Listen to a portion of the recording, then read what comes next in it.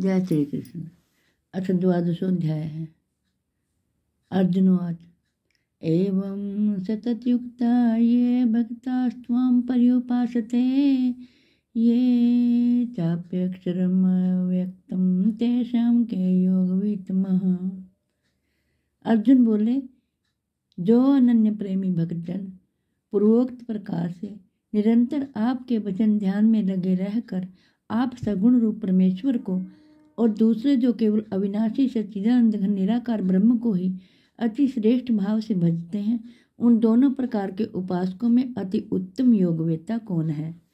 श्री कृष्ण भगवान बोले, मुझमें मन को एकाग्र करके निरंतर मेरे भजन ध्यान में लगे हुए जो भक्तजन अतिशय श्रेष्ठ श्रद्धा से युक्त होकर मुझ सगुण रूप परमेश्वर को भजते हैं, वे मुझको योगियों में अति उत्तम योगी मान्य है।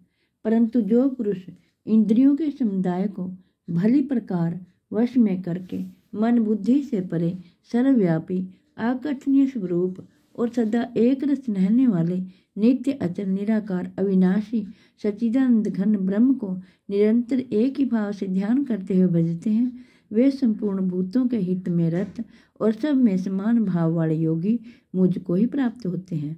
उन सचिदानंद निराकार ब्रह्म में आसक्त चित्त वाले पुरुषों के साधन में परिश्रम विशेष है, क्योंकि देहाभिमानियों के द्वारा अव्यक्त विषयक गति दुख पूर्वक प्राप्त की जाती है।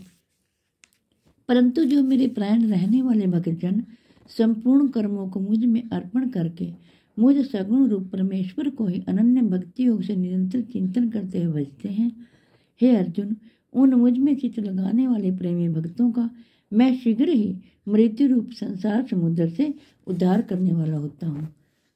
मुझमें मन को लगा और मुझमें ही बुद्धि को लगा, इसके उपरांत तो मुझमें ही निवास करेगा। उसमें कुछ भी संशय नहीं है। यदि तुम मन को मुझमें अचल स्थापन करने के लिए समर्थ नहीं है तो हे अर्जुन, अभ्यास उपयोग के द्वारा मुझको प्राप्त होने के लिए इच्छा कर। यदि तू उपयुक्त अभ्यास में भी असमर्थ है तो केवल मेरे लिए कर्म करने के ही प्रयाण हो जा। इस प्रकार मेरे निमित्त कर्मों को करता हुआ भी मेरी प्राप्ति रूप सिद्धि को ही प्राप्त होगा। श्री कृष्ण भगवान कहते हैं, यदि मेरी प्राप्ति रूप योग के आश्रित होकर उपयुक्त साधन को करने में भी तू असमर्थ है तो मन बुद्धि आदि पर विजय प्राप्त करने वाला होकर सब कर्मों के फल का त्याग कर। मर्म को न जानकर किए हुए अभ्यास से ज्ञान श्रेष्ठ है। ज्ञान से मुझ परमेश्वर के स्वरूप का ध्यान श्रेष्ठ है और ध्यान से भी सब कर्मों के फल का त्याग श्रेष्ठ है। क्योंकि त्याग से तत्काल ही परम शांति होती है। जो पुरुष तो भूतों में द्वेष भाव से रहित, स्वार्थ रहित, सबका प्रेमी और हेतु दयालु है, तथा ममता से रहित, अहंकार से रहित, सुख दुखों की प्राप्ति में सम और क्षमावान है। अर्थात अपराध करने वाले को भी अभय देने वाला है, तथा जो योगी निरंतर संतुष्ट है, मन इंद्रियों से शरीर को वश में किए हुए है और मुझमें दृढ़ निश्चय वाला है, वह मुझमें अर्पण किए हुए मन बुद्धि वाला मेरा भक्त मुझको प्रिय है, जिससे कोई भी जीव उद्वेग को प्राप्त नहीं होता और जो स्वयं भी किसी जीव से उद्वेग को प्राप्त नहीं होता, तथा जो हर्ष, अमर्ष, भय और उद्वेग आदि से रहित है, वह भक्त मुझको प्रिय है।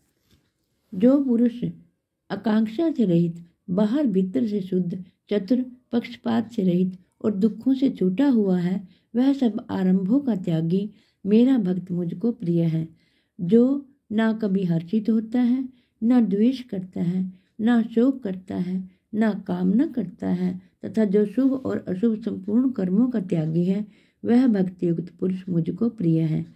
जो शत्रु मित्र में और मान अपमान में सम है तथा सर्दी, गर्मी और सुख दुख आदि द्वंद्वों में सम है, वह आसक्ति से रहित है, जो निंदा स्तुति को समान समझने वाला, मननशील और जिस किसी प्रकार से भी शरीर का निर्वाह होने में सदा ही संतुष्ट है और रहने के स्थान में ममता और आसक्ति से रहित है, वह स्थिर बुद्धि, भक्तिमान पुरुष मुझको प्रिय है। परंतु जो श्रद्धा युक्त पुरुष मेरे प्राण होकर ऊपर कहे हुए इस धर्म में अमृत को निष्काम प्रेम भाव से सेवन करते हैं। वे भक्त मुझको अतिशय प्रिय हैं। हरिओम तत्सत्य श्रीमद भगवद गीता सुपनिषु ब्रह्म विद्या शास्त्र श्री कृष्ण समाधे भक्ति योग नाम स्वाध्याय जय श्री कृष्ण भगवान। जय श्री कृष्ण जय श्री कृष्ण शान्ताकारं भुजगशयनं पद्मनाभं सुरेशं विश्वनारं गगनसदृशं मेघवर्णं शुभाङ्गं लक्ष्मीकान्तं कमलनयनं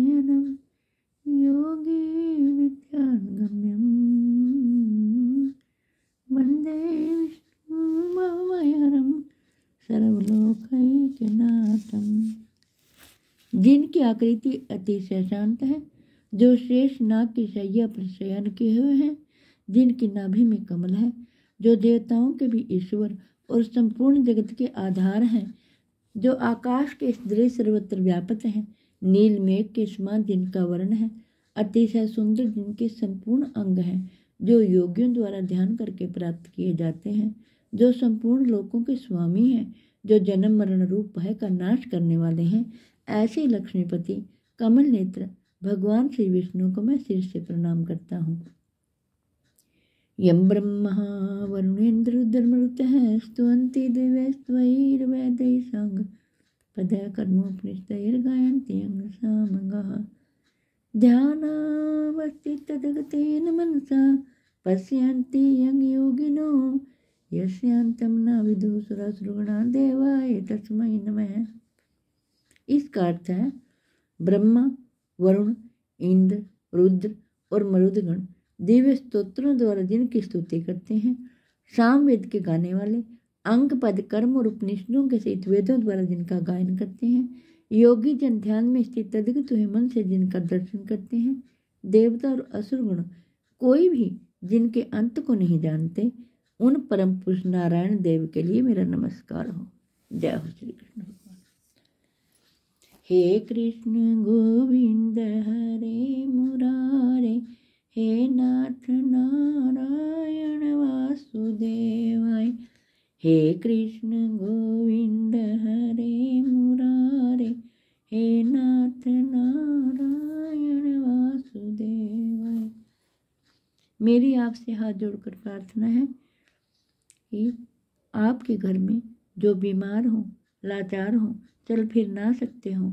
आप उन्हें ज़रूर श्रीमद् भगवत गीता जी का पाठ सुनाएँ, ताकि भगवान उन पर कृपा करें और वो शांति प्राप्त करें।